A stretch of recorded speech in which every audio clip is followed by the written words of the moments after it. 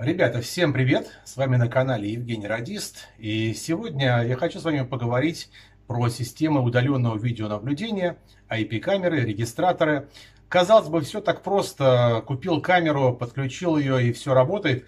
Но не все так э, ровненько и не так на поверхности. И выясняется при общении с э, нашими посетителями, что есть серьезное непонимание, э, люди часто переплачивают, покупают какие-то камеры за бешеные средства.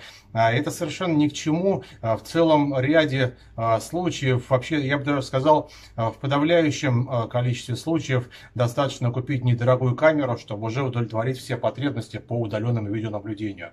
И вот давайте сегодня разложим по полочкам, а, с чего начинать выбор, то есть на что опираться, на что нужно использовать а, при выборе, какие аргументы, а что считать лишним и на что не обращать внимания. Поехали, начнем. Ну, вначале, конечно, нужно понимать, у нас будет уличная камера или комнатная камера. Если уличную можно поставить дома, а, то домашнюю камеру, безусловно, на улицу не поставите. Она не имеет модуля подогрева, она не защищена от влажности, она быстро выйдет из строя. Основной момент, который в первую очередь должен нас беспокоить, это что мы хотим увидеть в камеру.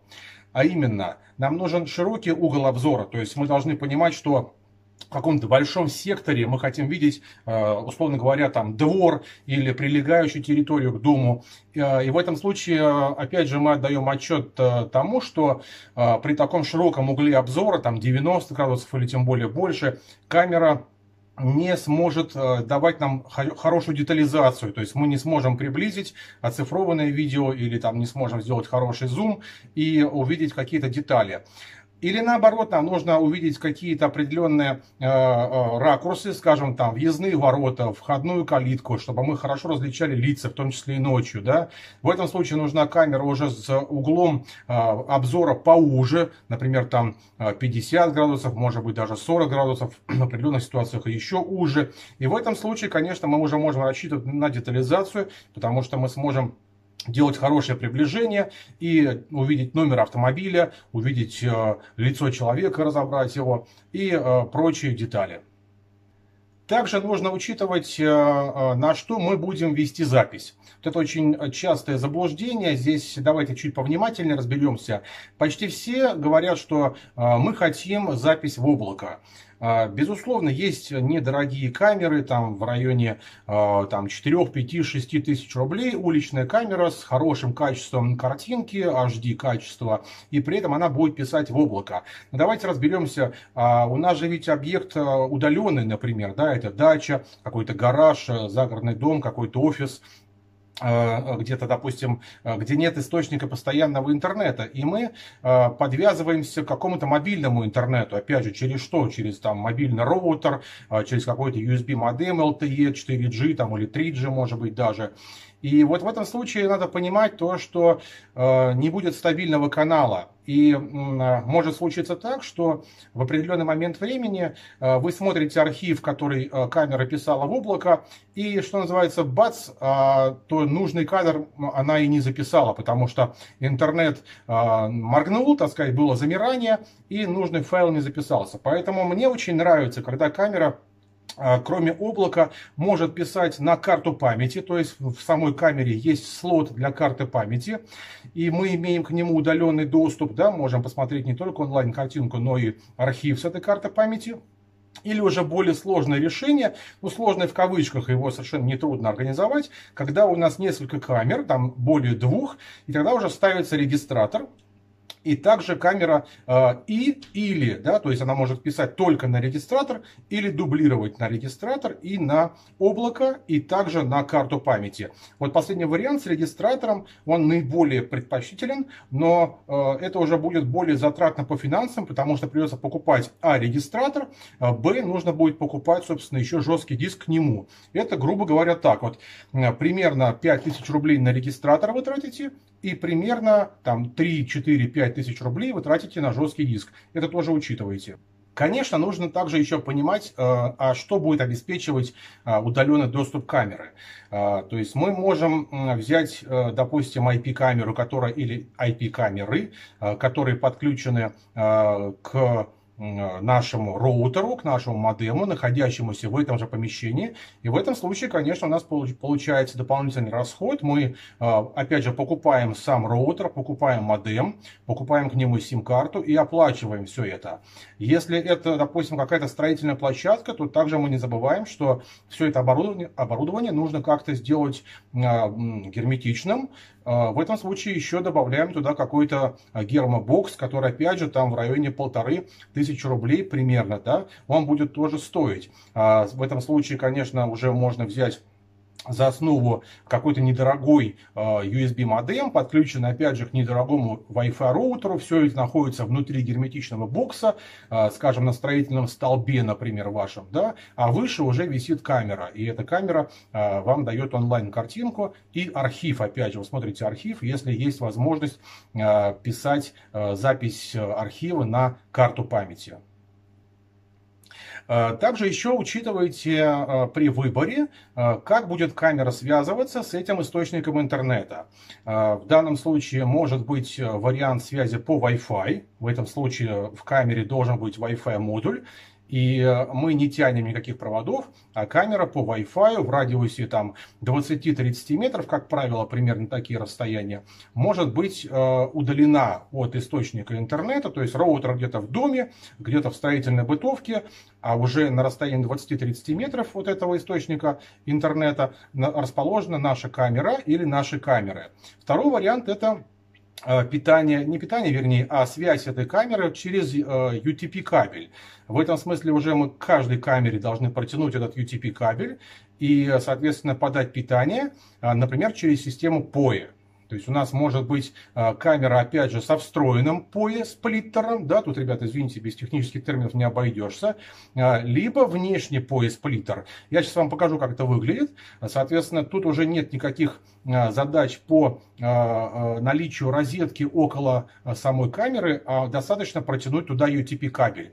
И в этом смысле у нас все остается дома, то есть у нас источник питания дома, а до камеры идет только лишь UTP кабель. Это обычная компьютерная витая пара, кому непонятно, что такое UTP, обычная компьютерная витая пара. Пришел туда этот кабель и подключается к этой камере. Все, камера уже имеет питание, и она имеет связь по этому кабелю с вашим, опять же, а, домашним компьютером или домашним а, значит, маршрутизатором, то есть то, откуда идет источник интернета.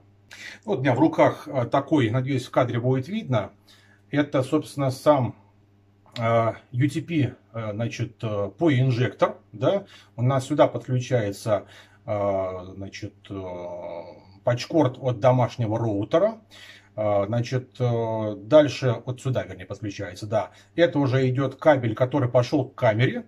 А сюда подключается, соответственно, блок питания там, на 9 или на 12 вольт.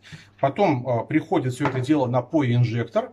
И уже наверху у нас, соответственно, э, идет э, вот эта часть в камеру. Да? А эта часть, опять же, пошла туда вниз к нашему значит, источнику питания.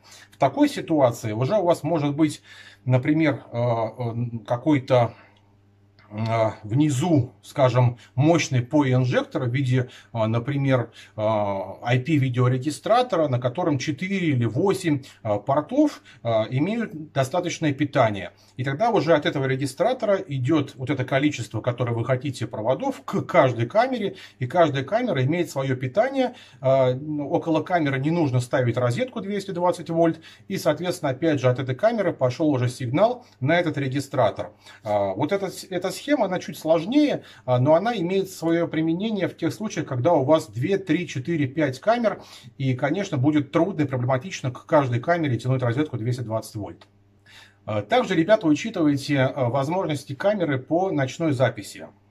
А, как правило, а, значит, э, инфракрасные радары, которые встроены в камеру наблюдения, обеспечивают зону работы этой камеры ну, приблизительно где-то на 20-30 метров. То есть вот на максимальном расстоянии 20-30 метров уже ночью человека будет видно плохо.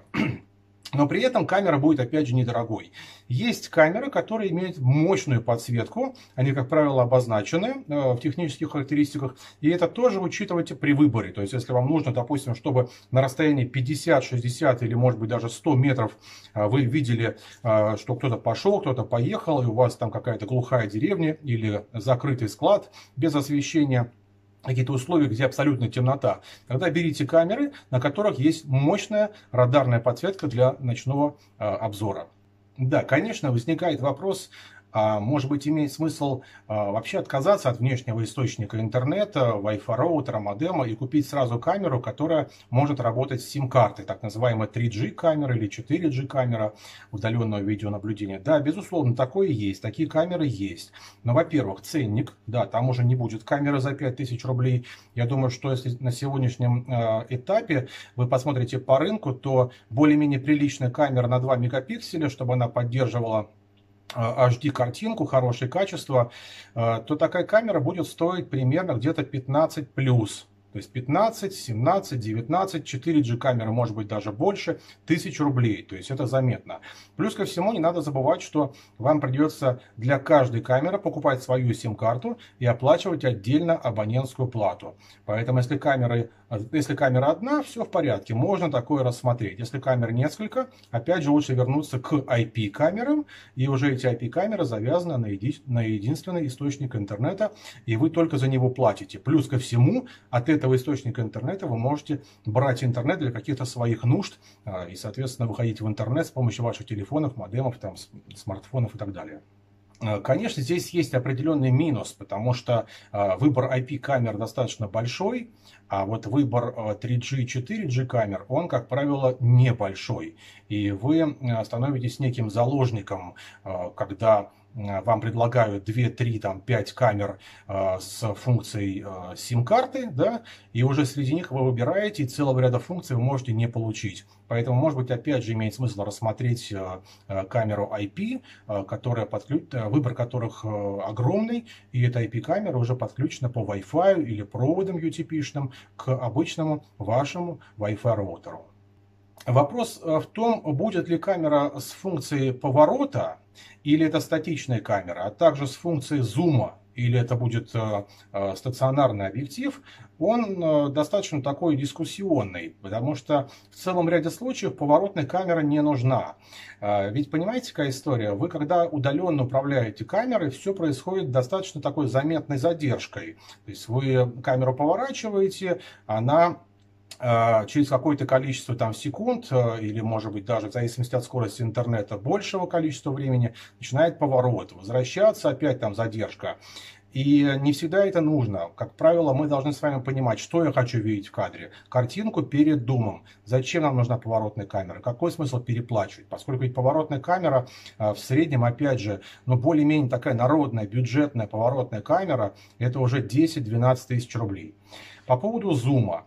Опять же, надо понимать, что цифровой зум, а, но это все весело, но это не очень хорошее качество. Оптический зум это не дешево, потому что хорошая оптика, стеклянная, конечно, должна быть оптика, но это уже будет дорого. И, и камера с более-менее а, хорошим оптическим зумом, она будет стоить, ну, примерно где-то в районе там, от 16 тысяч рублей. Опять же, я говорю по поводу цен, не с какого-то там китайского сайта, где нет никакой технической поддержки и так далее, а про наши магазины, которые у вас, грубо говоря, перед вами а, в интернете вы можете их найти и э, вам оказывают техническую поддержку. То есть камера все та же как бы китайская, но она уже брендирована каким-то магазином, да, и эта камера имеет техническую поддержку. Это очень часто бывает большим плюсом вот когда.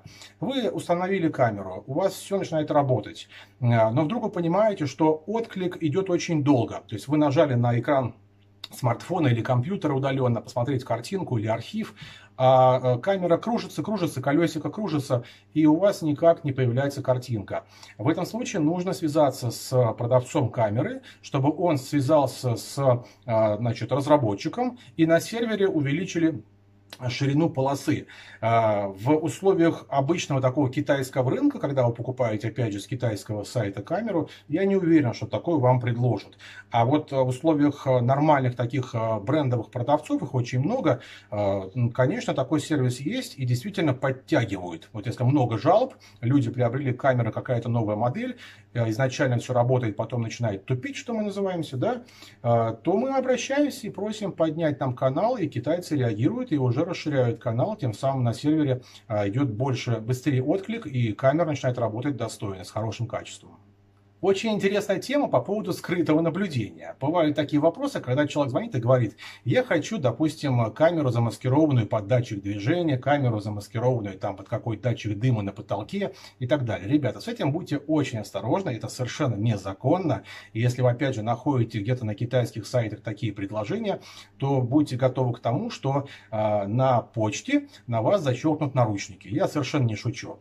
Поэтому от этого, конечно, отказывайтесь. Возможно, камеры, которые которые замаскированные под зажигалки, под какие-то брелоки там и так далее. Это все незаконно, такие камеры использовать нельзя. А вот, например, просто потолочная камера, да, или настенная камера 180 градусов, это очень интересная тема. Понятно, что с такой камерой вы не получите хорошую детальную картинку, там, вы не сможете увидеть абсолютные мелочи, там, скажем, купюры на столе там, и так далее. Вы это не увидите, какая там купюра. Но общую картинку она даст. Причем такая камера может стоить там 4-5 тысяч рублей. У нас на сайте, посмотрите, есть такие камеры могу дать ссылочку на описание, посмотреть, очень интересно. Звук, ночное видение, на потолке висит камера. Значит, вы удаленно просматриваете, прослушиваете все помещение, смотрите архив, у меня есть карточка памяти. При этом 360 градусов делится на 4 сектора по 90 градусов, да, значит, э, и вы можете удаленно делить эти сектора и смотреть только один сектор, только другой, третий там, да. И также вы можете еще смотреть общую такую шаровидную картиночку. Я, кстати, в это видео вставлю сейчас такую панорамочку, чтобы вы могли примерно посмотреть, что такое там. На примере, наверное, камера 180 градусов я покажу. У нас в техническом офисе есть такая камера, вот в этом, где я сейчас нахожусь. И вы можете понять и оценить качество картинки с такой камерой. Но перед этим э, давайте еще два слова скажем по поводу видеонаблюдения в автомобиле или за автомобилями, там, за грузами и так далее. Есть интересные э, небольшого размера камеры с поддержкой э, как правило 3G, 4G, когда вы можете установить камеру, допустим, на внутренний борт вашего грузового автомобиля или, скажем, на а, какую-то внешнюю сторону вашего автомобиля, может быть даже в салоне, если это легковой автомобиль, направить ее вперед, как, как видеорегистратор, по сути дела, можете ее использовать. При этом камера имеет функцию удаленного просмотра онлайн-картинки и а, просмотра архива 3G, 4G камера. Такая модель будет иметь цену примерно в районе там, 17, 18, 19 тысяч рублей. Это совершенно недешево, я понимаю прекрасно, но при таком небольшом размере и таком функционале это очень здорово здорово. Если вы можете э, понимать, где находится ваш автомобиль, где он двигается, вы можете видеть картинку э, с этой камеры. Э, главное, чтобы эта камера находилась э, в тех местах, где есть радиопокрытие э, 3G, 4G того оператора, чья сим-карта установлена в эту камеру. Э, тоже имейте в виду, такие вещи используют еще, знаете, кто у кого э, всевозможные такие как агит-площадки там или э, значит театральные деятели, когда выезжает машина, э, значит с каким-то театром, да, или там что-то еще, и э, нужно, чтобы вы могли удаленно просматривать, что происходит там с артистами и так далее. Это один из вариантов. И вы всегда, опять же, удаленно можете видеть онлайн картинку и запись архива с такой камеры. Ну вот, ребят, давайте посмотрим. Вот сейчас у нас есть как раз превьюшечка с такой камеры, да вот это с моего смартфона видео. И мы сейчас вызовем этот э, значит, кадр в режиме онлайн. Да, соответственно, посмотрим, что он из себя представляет. Вот она картиночка 180 э, градусов. Камера стоит вверху. Я сейчас даже ради эксперимента выйду э, в кадр. Вы меня увидите, что называется, всем привет. А, и вот э, такая небольшая площадка, которая полностью перед нами. То есть, что мы можем сделать? Мы можем здесь вот таким образом раздвинуть кадр. Видите, как интересно. И я могу поворачивать его влево, да, до упора, и вправо до упора. И, соответственно, у нас получается общая картинка, ну, немножечко вверх, немножечко вниз. общая картиночка получается у нас 300, извините, 180 градусов, то есть верх и низ здесь срезан. И есть аналогичная камера, которая может делать подобные вещи, но уже с потолка, когда мы с вами, значит, имеем полностью угол обзора 360 градусов. И в этом смысле уже сверху одной камерой вы можете полностью обозревать территорию, допустим, одного небольшого офиса. Ну вот, ребята, еще одну картиночку хочу показать вам. Превьюшка сейчас в центре кадра. Это, собственно, то же самое помещение. Прямо в режиме онлайн мы его открываем. Это уже камера поворотная. Вот сейчас я камеру двигаю вниз, просто пальцем по экрану провожу. Да? Допустим, немножечко поворачиваю вправо, да, немножечко поворачиваю влево. То есть в данном случае у нас с вами уже получается э, более четкий кадр. Да? Мы можем немножечко так приблизить его, чтобы там увидеть более, так сказать, детально. И также поднять качество. Сейчас вот в левом нижнем углу у нас кнопочка SD. Давайте позовем сейчас HD качество. Сменим качество HD. Сейчас оно немножечко у нас подгрузится. Все есть. И видите, уже намного четче, да? Вот то же самое, но уже более четко мы все видим. А, это у нас камера поворачивается, да? То есть я ее немножечко вращаю туда-сюда и она у нас вращается. Ну вот просто сравнили, чтобы вы... Э, я понимаю, что YouTube, конечно, будет срезать качество, это все ясно, но сам, э, так сказать, э, результат, саму работу вы видите, пожалуйста, время, все в кадре, все есть. Ребята, и вот мне очень хочется показать вам камера, которая работает в режиме 3G. Вот опять же, смотрите, время с предыдущим сравнивать. Это прямо сейчас. Камера находится на даче. А, показывает въездную зону, то есть там ворота у нас, да, забор. Вот до ворот у нас приблизительно 20 метров. И вот видите, насколько освещение хорошее. Вот я даже сейчас опять приближаю, HD качество стоит, да у нас вот такое достойное качество, то есть мы явно увидим как человека, так и машину а, в условиях а, полной темноты. У нас сейчас на улице уже совершенно полная ночь, там видно, да, немножечко фонарики там на улице горят и так далее. Вот э, такая камера, ну просто опять же, чтобы было понимание, что это такое, это совершенно земные деньги, там в районе 5000 рублей стоит эта камера, она с Wi-Fi, с картой памятью. Там камера 180 градусов, которая была в кадре, там она в районе 4000 рублей стоит. Поворотная камера офисная в районе 6 тысяч рублей. То есть вот такие вот бюджеты и вот такое, ребята, достойное качество э, значит, э, картиночки с таких камер. Ребята, ну вот э, такая вводная часть, она, к сожалению, как обычно у меня не получается очень компактной. Э, я уж старался сделать не сильно размазанный ролик, но тут очень много нюансов. Меня интересует вот что. Если вам эта тема интересна по видеонаблюдению, я готов э, поделиться своим опытом в этой э, части. Тоже он имеется, он многолетний. Здесь есть много нюансов. Я сейчас осветил такие основные проблемы. То есть вот э, э, на что опираться, на что обращать внимание, что нужно, что не нужно. А, если эта тема вам интересна, пожалуйста, напишите под этим роликом, что вас интересует, а, какие камеры вы бы хотели установить, в какие бюджеты вписаться. Я с удовольствием сделаю серию э, видеороликов на тему удаленного видеонаблюдения по вот таким камерам, регистраторам и так далее. Пожалуйста, если вам понравилось это видео, а я очень надеюсь, ставьте лайк. Всего доброго и всех благ. До свидания. С вами был Евгений Радист.